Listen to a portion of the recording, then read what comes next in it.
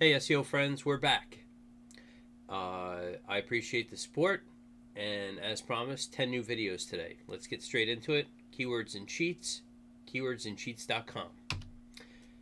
So, Keywords in Sheets is an awesome uh, Google Sheet, a collection of Google Sheets for SEO. They work well with Mozbar Export. If you're not familiar with that, check out my old videos. It's spreadsheet data, data manipulate at will. So make sure that you mess around with this data and utilize it the way that you work. You know, work it into your workflow. Be sure to find averages, etc. And at the end of the review, uh, we'll review FormulaBot.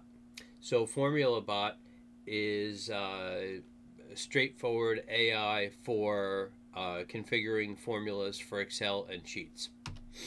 So in this first one uh, example, we inputted a column of domains and it gave us the rest of this information.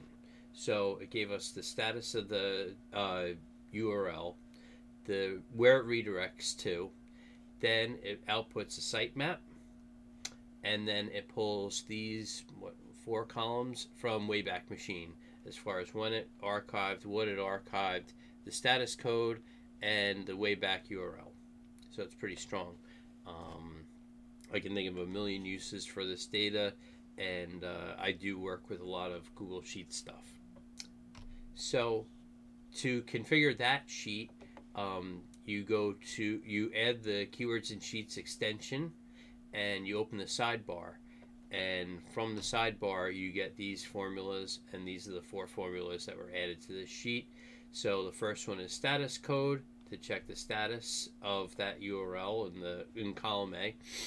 The next one is the redirect checker that uh, tells you where this redirects to to make sure that you're HTTPS, etc. The next one is your XML sitemap. You input the XML sitemap at the top and it uh, expands it and gives you the full XML sitemap inside of uh, Sheets. And then the last one is pulling the Wayback data. Pretty neat. Now, the second example is the real cool one. So we inputted a series of URLs, and just in this one column, we put one formula, and we got all this data. So if we look at it, we get the title, the meta description, the H1, H2, H3, the meta robots, the canonical, and the word count on the page. And for these H1 through H3, you can have it output just the first heading or H1, or you can ask for it to give you all the headings. So um, this sheet was created uh, using the data at this page, bit.ly scrape for SEO.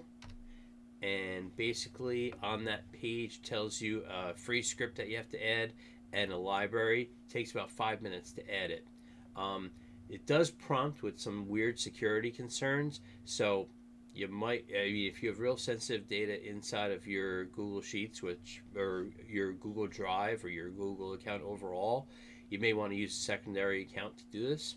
Um, again, it returns the status code page title, the meta description H1, H2, H3 Meta Robots canonical and the word count. Remember, all headings could be optional, meaning if you wanted all the H1s or all the H2s that are on the page, you can modify the formula to output that. So basically, you got this entire thing from the list of URLs, and again, I output these from Mozbar, and this is the only formula that had to be added. SEO scraper. Pretty neat. Now, finally, um, again, I've said it a couple of times, you know, it's nice to get this data, but the real magic is when you start to manipulate it. And the last note, use excelformulabot.com. The name is kind of misrepresentative because it does sheets also. And you can configure some sheets trickery.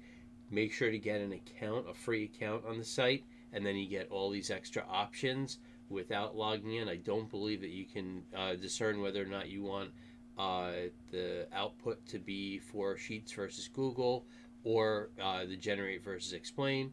And here I utilize that system to add HTTPS to all the items in column A, and it gave me the output. Pretty neat. Anyway, that's Keywords in Sheets. Check it out. Any questions, leave a comment below. Like, subscribe, and hang around for the next video. Take care.